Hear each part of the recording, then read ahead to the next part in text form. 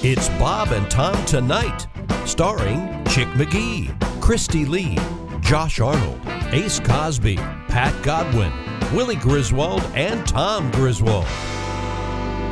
And we have a special guest with our newest feature. He is the great comedian Greg Warren with his feature, The Warren Report. Greggy. And, Hi, um, Greg. and Greg always tries to have in the background a picture of a famous person named Warren. And uh, it was- it was uh, Chief Justice Earl Warren. And uh, is that uh, Warren Moon? That is Warren Moon, Tom. Yeah. Oh, Wow, very nice. Uh, one of my favorite football players. How about that? And also named yeah. Warren, of course. Yeah, of course. Thanks, Tom. Okay. Well, I want to make sure we tie, tie this together. Uh, okay. Uh, Greg, how are you, sir? I'm doing great. I'm doing great. Uh, I, I thought today we would uh, discuss uh, Rocky Aoki, the uh, founder of Benihana.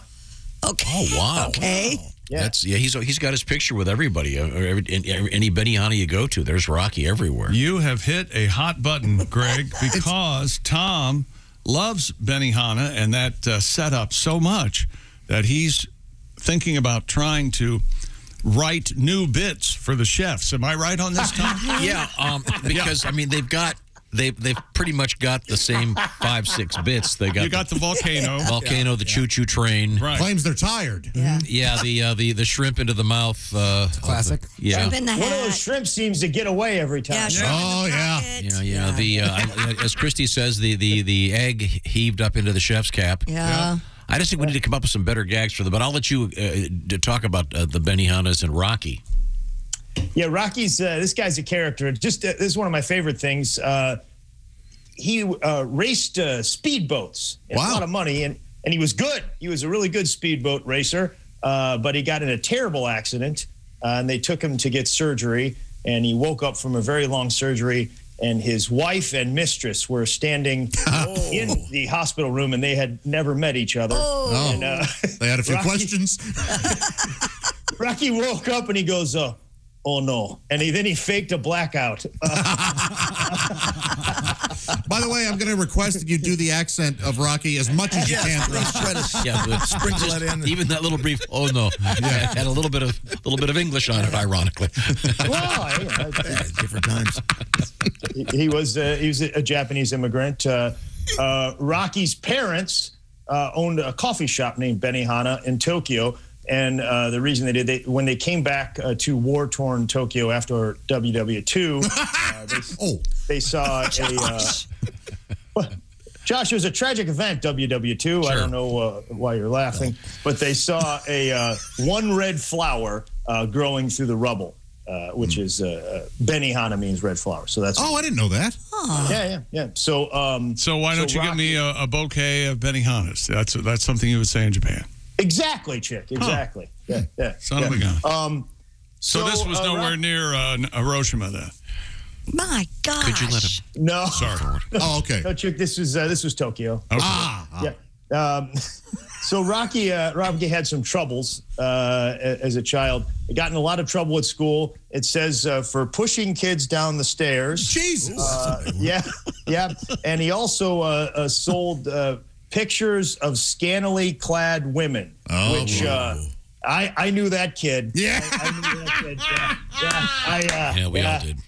Yeah, I, I, I bought a Cheryl Tiegs uh, uh, swimsuit uh, model picture. Still got it. Still got it.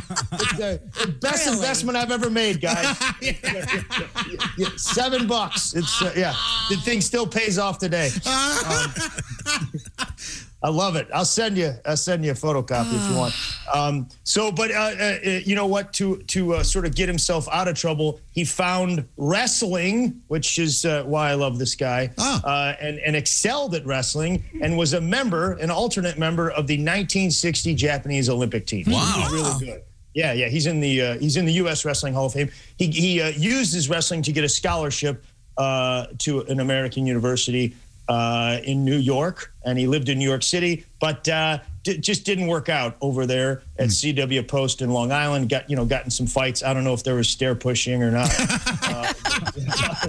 You're very aggressive. they got a lot of stairs over at CW Post, from what I understand. So um, he, he, he mostly sort of uh, just started making money. He loved America, loved America, and uh, he drove a Mr. Softee truck through Harlem. Nobody wanted to go there, and he was like, "Well, I'll just take that market."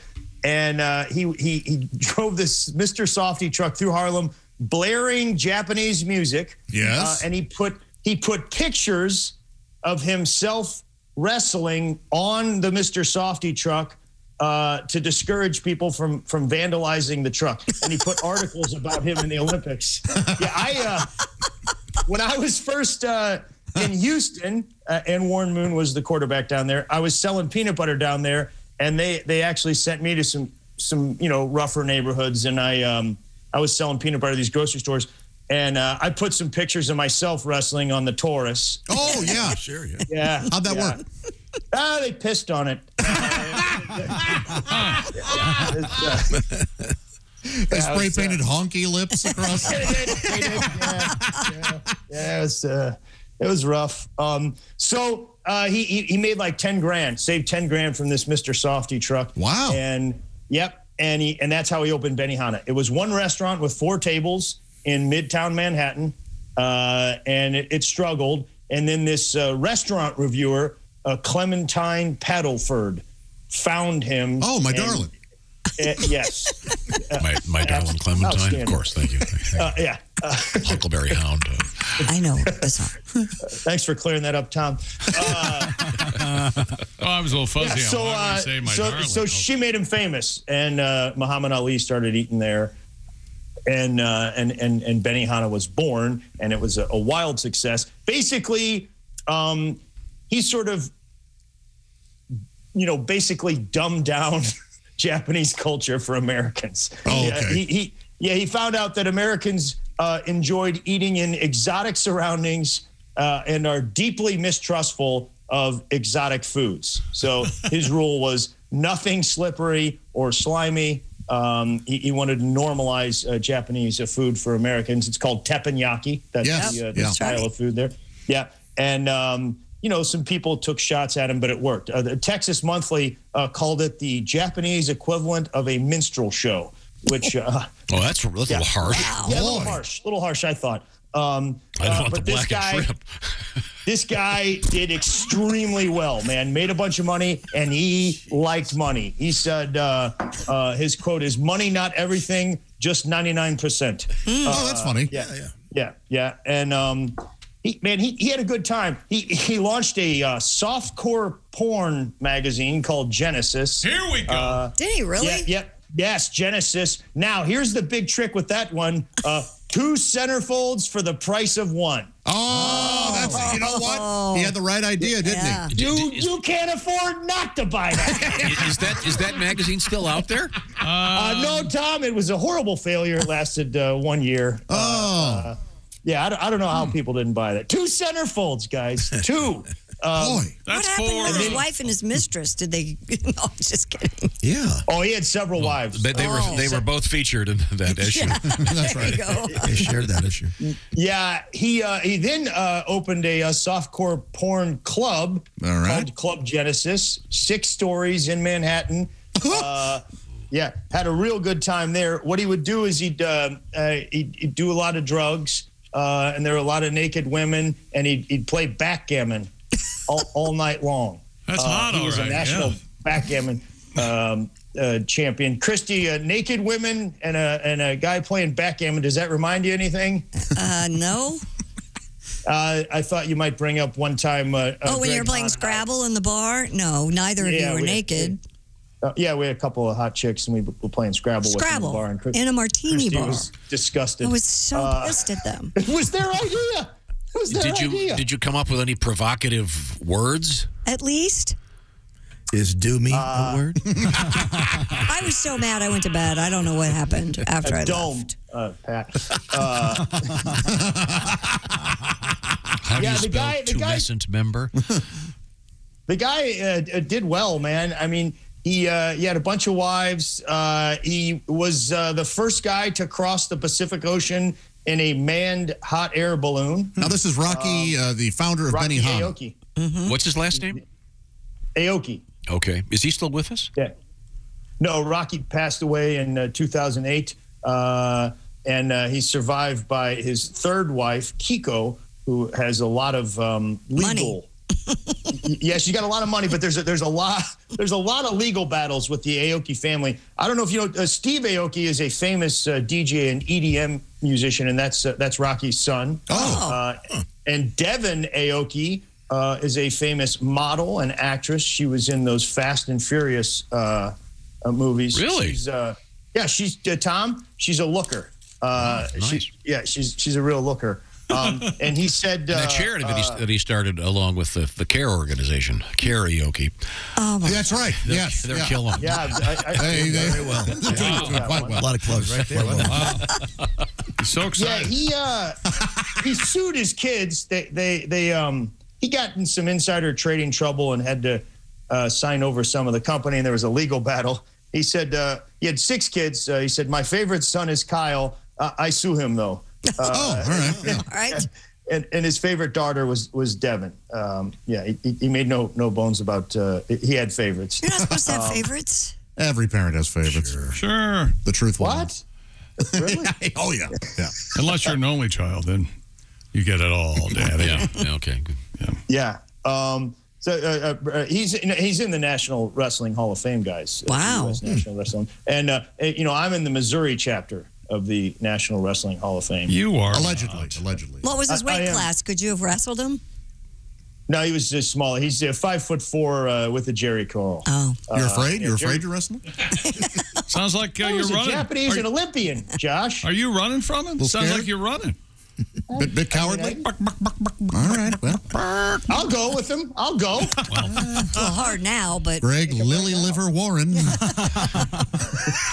Once again, Um, we're discussing Rocky Aoki. Is that Aoki. Aoki. Rocky Aoki. the Yeah. founder of Benihana? Benihana's still thriving, though. Sure. uh, doing well. Uh, there are some legal battles with the uh, with uh, his uh, widow Kiko. The kids don't like her, and she uh, sort of junked up the the Hawaiian version. They served hamburgers, and uh, she had uh, two uh, a two girl rap troupe called the Benny Girls. Oh. they, they were Man, that's- smoking hot, and uh, Sounds like yeah, a yeah. hell of an act, right? Yeah, I know the kids didn't like it. Uh, I think Rocky would have loved it, from what uh, what I can tell. Oh, he would love the Benny girls.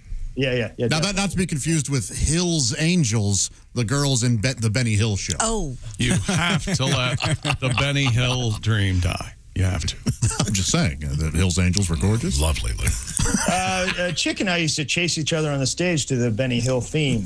Yes, yes, we Ah, did. yeah. It's one of the Yakety more sax. uh, embarrassing moments of my life. Yes. Yeah, he, he, he, uh, he, he did everything, man. He launched a, he launched a, a diet pill business that failed. Um, he, he launched a, maybe take some MSG out of your food. he launched a uh, uh, some frozen entrees, Benihana frozen entrees, and uh, the motto was uh, "We either make it great or we don't make it at all." And uh, it, it must not have been great because after uh, two years, They're, they're not they making did it not up. make it at all. Lost eleven million dollars. Oh my! Yeah. I, didn't- I didn't know he was responsible for Genesis magazine. I love those sort of fake, like these offshoots of Playboy that never quite made it. You know, Gent D cup Fake. It's issue. got two centerfolds, Tom. Revolutionary. True. You know how many staples that is? That's a lot of staples. It's double. And, yeah, and, and Josh, you know how much you pay for that extra centerfold? How much? Nothing. Nothing. Oh, Rocky eats it. well, He passes the savings on. boy, oh boy. where do you think those mistresses come from? I'm trying to see if you can buy a Genesis magazine. Oh, yes, you can. oh yes. Uh-huh. Oh yeah. Oh yeah, I'm looking at. You can shop uh, old Genesis magazines. They range from fifteen dollars to uh, to eighty nine dollars. Wow. Oh, the old ones have Peter Gabriel. Yeah. The new one's Phil Collins. You like the Phil Collins? Oh my God. Well, uh, uh, Greg, thank you very much. Now, uh, it would appear that uh, you're going to be back on stage at the Funny Bone in Dayton coming up February 11th and 12th. Am I getting this right? Yeah, and uh, we just added uh, the Valentine's Day, the 14th. That's that's perfect, man. I was talking uh, to Janelle at the Dayton Funny Bone, and she was very excited. They're very excited to have you. What day of the week is uh, the 14th this year? It's a Monday it's a night. Monday. Yeah. So a Monday show. So Monday this is night. kind of this is sort of Valentine's. your love your love show. Yeah, Mike. Uh, well, I don't know about love that. show. Greggy's love show.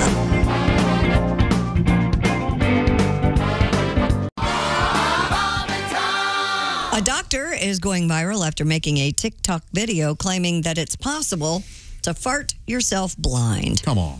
In the clip, plastic surgeon Dr. Anthony Yawn or Yown, it's probably Yown because it's spelled like noun with a Y, responds to another TikTok user who claimed, quote, I once farted so hard I went blind for three minutes. No, you didn't. Dr. Yown first assures the viewers that it's very unlikely. It's really hard for me to talk about, but uh, uh, such and such.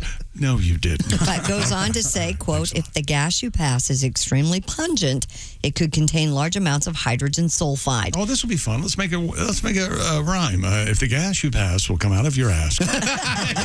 Yeah, that's a good move because you can't rhyme pungent with much. No. He goes on to say studies show that hydrogen sulfide is very effective in reducing blood pressure and if it reduces blood pressure to the central retinal artery, your silent but deadly toot could theoretically make you go blind. No, this just didn't happen. There was no reason to respond to this person. According to IFL Science, one would need to produce a truly significant amount of flatulence or develop a means of strong farts over several days to reach unsafe thresholds of hydrogen sulfide inhalation. So flatulence could cause blindness. In a very rare extreme case for a short period Ray of time. Charles, famous consumption of baked beans. Oh, wow. No wonder he. Uh, Come on, Ray. Come on, Ray. You wouldn't be blind if you didn't fart so much. Lighten up, Ray. Do you have a song for us, Pat? Yeah, Springsteen wrote the original here, so I'll do it in his style. I can't believe you're doing this. Let's get shut up, Josh. We're embarrassed for you. Go ahead. All right, here we go then. Some doctor quack hack is getting blowback in a TikTok video. He says hydrogen sulfide coming out your backside could blind you, don't you know? With a diploma over his shoulder, his statement seems much bolder about when gas gets in your eyes. this here MD says an SPD affects the retinal artery over time. says you'll be blinded by your farts. Cut loose like a goose. Here's hoping you don't shart. Yeah, blinded by your sh- farts. My brother let one fly right by my eye, and I was blinded by farts. Oh, Daddy always told me never to look in the, the brown eye of his other son. But Daddy, that's where the fudge is. Oh, man, God. I gotta go now. Let me. Uh, That is that is so nice, Pat. where the fudge That's where the fudge is. That was- that was so good. did I, you have any help writing that? Is it like- That I- we need some fart goggles. way better than I thought it would be. Very nice.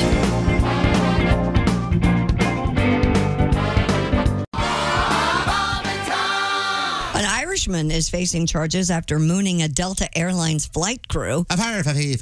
According to a federal complaint, Shane McCarney had created numerous disturbances on the January 7th Delta flight from Dublin to JFK. The complaint states that the 29 year old, quote, repeatedly refused to wear a face mask despite being asked dozens of times by flight crew personnel. Attaboy. At one point, he got up from his seat to complain to an attendant about the food, and on his way back, pulled his pants down, mooning the attendant and fellow passengers. He was, of course, taken into custody once the plane landed at JFK and has since been charged with interfering with a flight crew, which, by the way, is a felony that carries a 20 year maximum prison sentence. You know, drunken Irishman landing at JFK. There's a joke there. The pilot You know, it's you don't want to believe in these stereotypes, Pat, but Boy, are they true. you guys, your people are making it awfully tough. The pilot attempted to speak with McInerney, during which point the passenger put his cap on the pilot's head. Hilarious. I hope it was a Tam O'Shanter. oh, that's Scottish, isn't it? He also told the pilot not to touch him and put his fist near the pilot's face. See, that's where you. That's where You it's this, this guy. kidding Five years of uh, forced sodomy in a I nice tell you what. prison in New York. Hey, welcome to America, asswipe. As the plane was making its final approach, McInerney refused to stay in his seat, instead standing in the aisle, which they You can't land drunk- if you're some standing, by the way. jackass uh, refuses to sit in his seat while the plane lands and Yeah. th- threatens the pilot. No. Yeah. If the door would open, I would have thrown him out. I'd love to be the judge in this. one. oh, Uncle Shane. Hey, Rumpelstiltskin, you're going to love prison. Uh, this is happening more and more and more and more. Rumpelstiltskin. Rumpelstiltskin. How'd you drag that into it? Hey, loser, do a better job wiping. Okay, you smell Do you it. think any of this? Because I think they're banning the booze on the planes, and I know for my last flight, I may, have, tailgating. I may have pre-gamed a little too yeah. hard because I knew I couldn't get a drink on the game, and I Fly wonder. sober like a man. I, I Yeah. can't do it, Josh. I'll cry on the plane. You get sad. You think about things. That's what planes are for. You sit in the back row by the bathrooms and you cry. This was a uh, Delta I'm so flight glad I'm Right. doing it right. from Dublin to JFK. So Okay. would have been a much better story if it had been on the official Irish airline. Oh gosh. Which is what? At last, our true enemy reveals itself. Ah, Josh, the the uh, airline, of course, is Aer Lingus. Oh, yeah. Yeah, they're not. They they merged with Continental. Is that right? Hmm. I wonder what what that would be. what are they going to call it? We're gonna, uh, mid, midway? Uh, Air Lentil. As, as Godwin said, it's all part of the experience. it is. It really is. It's all part of the journey, really. Yeah. Get you there fast, too. Did you see where United Airlines flight carrying 123 passengers from Newark to Tel Aviv turned around? because when they realized they were going to Tel Aviv, No, because two writers self upgraded to business class. Yeah. And when the flight attendant approached them and asked to see their tickets, they got a little rowdy. The flight was canceled. Affected passengers were given meal vouchers and hotel accommodations. This is the second time in a week that they've had to turn around an international flight because of disruptive passengers. furious would you be? Again, I, I hope there's an engineer out there trying to develop the the the uh, the, the, the equivalent of the the torpedo chute in the submarine. Where, The ejector uh, seat? Yes. Hey, we have a special seat for you. It's not business class, but please come this It's right way. in the chute. Don't. Don't. Uh, this is your pilot speaking. Uh, the, the gentleman in 29A is going to be ejected uh, over the Atlantic Ocean. We, we aren't going to let him take his seat in case it, it is a flotation device. This is incredible, Jack. Yes, yeah. And let's hope the sharks get him. So long, pal. If you look to the left, you can see the jagoff who was screaming earlier, flying through the air. And the flight attendant and the air marshal high five. Watch the entire show live or on demand at bobandtom.com or listen live with the Bob and Tom app. And be sure to tune in next time for more Bob and Tom Tonight.